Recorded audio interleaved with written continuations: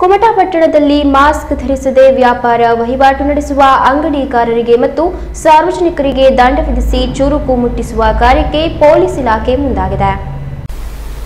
ಹೌದು, ಕುಮಟಾ ತಾಲೂಕಿನಲ್ಲಿ ಕರೋನಾ ಸೋಂಕಿತರ ಸಂಖ್ಯೆ ದಿನೇ ದಿನೇ ಹೆಚ್ಚಾಗುತ್ತಿರುವುದು ಜನರಲ್ಲಿ ಆತಂಕ ಮೂಡುವಂತಾಗಿದೆ.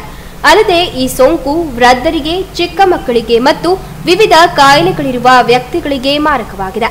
ಹಾಗಾಗಿ ಕರೋನಾ ತಡೆಯುವುದು ಸಾಮಾಜಿಕ ಜವಾಬ್ದಾರಿಯಾಗಿದೆ.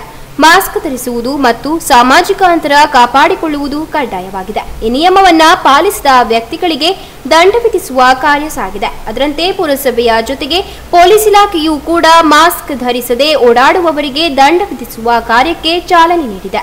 ಅದರಂತೆ ಕುಮಟಾ ಪೊಲೀಸ್ ಠಾಣೆಯ ಪಿಎಸ್ಐಗಳಾದ ಸುಧಾ ಅಗನಾಶಿನಿ ಹಾಗೂ ರವಿ ಗುಡ್ಡಿಯವರ ನೇತೃತ್ವದ ತಂಡ ಕುಮಟಾ ಪಟ್ಟಣದ ಅಂಗಡಿ ಮುಂಗಟ್ಟುಗಳಿಗೆ ತೆರಳಿ ಮಾಸ್ಕ್ ಧರಿಸದೆ ವ್ಯಾಪಾರ ವಹಿವಾಟು ಮಾಡುತ್ತಿರುವ ಅಂಗಡಿಕಾರರಿಗೆ ಮತ್ತು ಮಾಸ್ಕ್ ಧರಿಸದೆ ಸಂಚರಿಸುವ ಸಾರ್ವಜನಿಕರಿಗೆ ನೂರು ರೂಪಾಯಿ ದಂಡ ವಿಧಿಸಿ ಉಚಿತ ಮಾಸ್ಕ್ ವಿತರಿಸುವ ಮೂಲಕ ಜಾಗೃತಿ ಮೂಡಿಸುವ ಕಾರ್ಯ ಮಾಡುತ್ತಿದೆ.